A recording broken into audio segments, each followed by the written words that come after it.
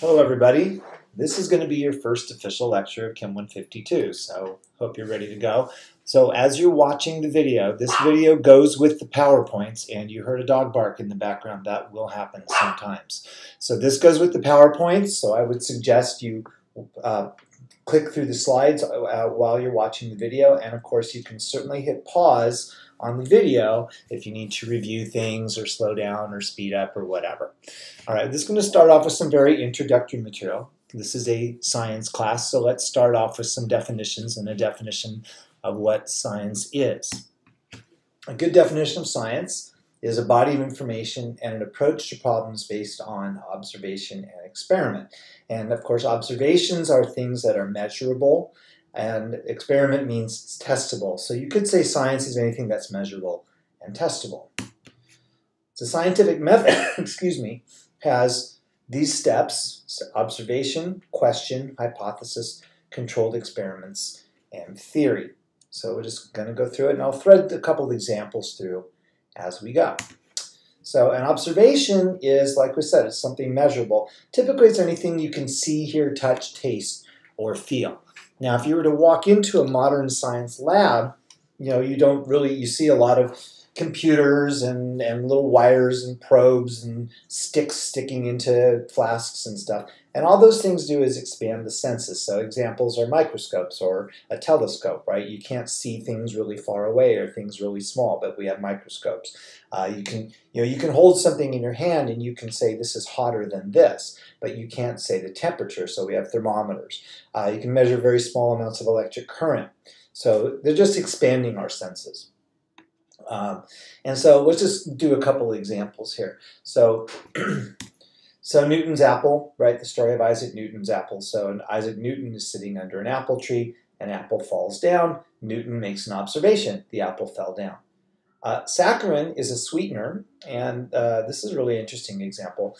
This is an example. A scientist didn't wash his hands after he was working in the lab. His name was Konstantin Fahlberg and he noticed a sweet taste on his hand one evening and put it together that it was from benzoic sulfimide, which is now saccharin.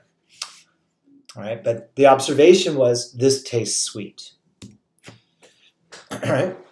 Now, the question, the next step of the scientific method. So observations happen all the time, and though it's the first step of the scientific method, it's actually not scientific it doesn't become scientific until we question the observation. So in the case of Newton's apple, why did the apple fall down?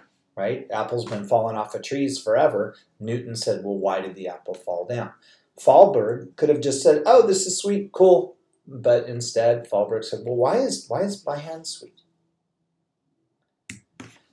All right, so this, this next step, there's some confusion and it's caused some controversy. So frequently there's words that have different meanings in science and in the general population and people use them interchangeably. And you'll see that throughout this semester. But for example, a lot of people will say, oh, this is my theory, but it's actually a hypothesis. So let's talk about the differences here. So once we have a question, we propose a hypothesis. We don't, it's not a theory. People would say, oh, my theory is my hands got in something sweet. But that's actually a hypothesis. Let me explain.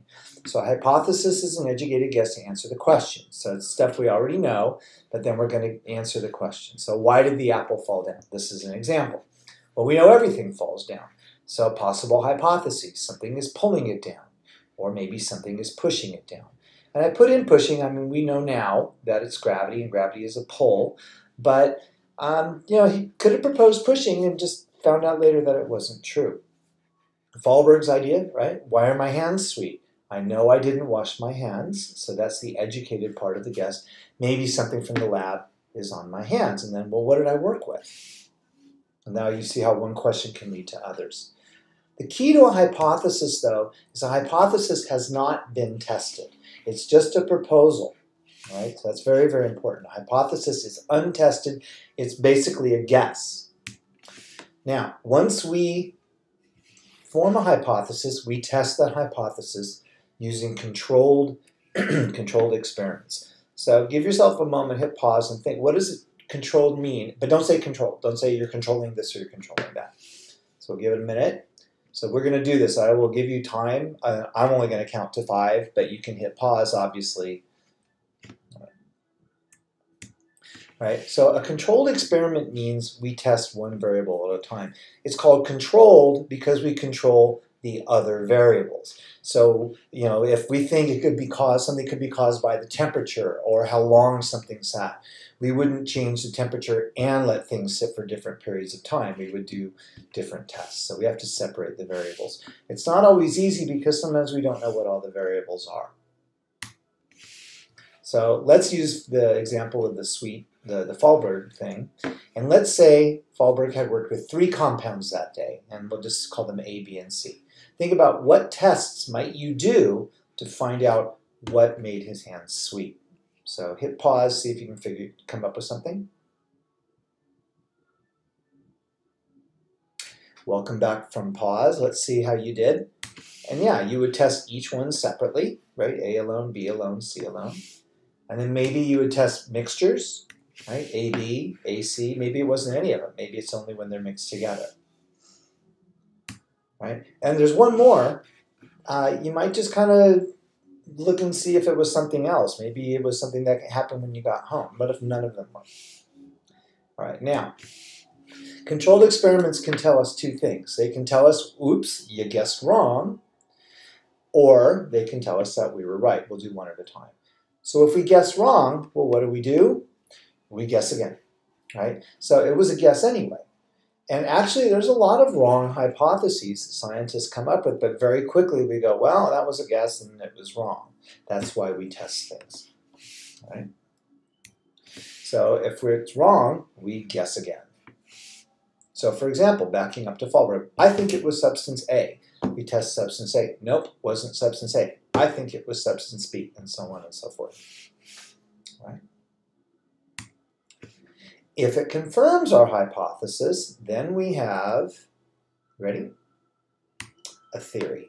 So again, remember theory and hypothesis are used interchangeably. People say my theory, but they really mean their hypothesis because the theory is tested. So this is very, very important.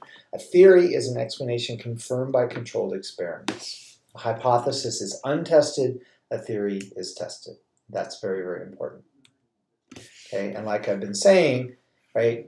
It causes problems. People just you know don't understand that theories are tested. So when we have a scientific theory, people think theory and they think, oh, it's just a thought, it's just a guess, or just what we think. But if we are calling it a theory in science, it means we have data that says it's true. We've tested it. Uh, there's no absolutes in science. Everything is a theory. Uh, some of them have been around for really, really a long time. And actually, uh, in an ensuing set of slides, I'm going to show you an example or two all right, still can be proven wrong, okay? Because uh, sometimes we just have no way to test. So for example, x-rays, um, when x-rays were discovered, so the laws of physics, a lot of the laws of physics were well understood, or so we thought, and then x-rays were discovered in the 1800s, and then they said, oops, and had to go back and test a lot of laws of physics because no one knew x-rays were there. And some stuff, they said, guess what, it was x-rays, and some stuff they said, no, actually it was right. All right, before we go much further, let me just see how many more slides we have. Um, I want to spend a couple minutes on this, but I'm going to break this up into two sets of slides. So uh, I'm sorry, two videos. So I'm going to stop here for a second. Exit. And I'll come back to, I'll start here on a second video. So it'll be scientific method one, scientific method two, or intro one, intro two.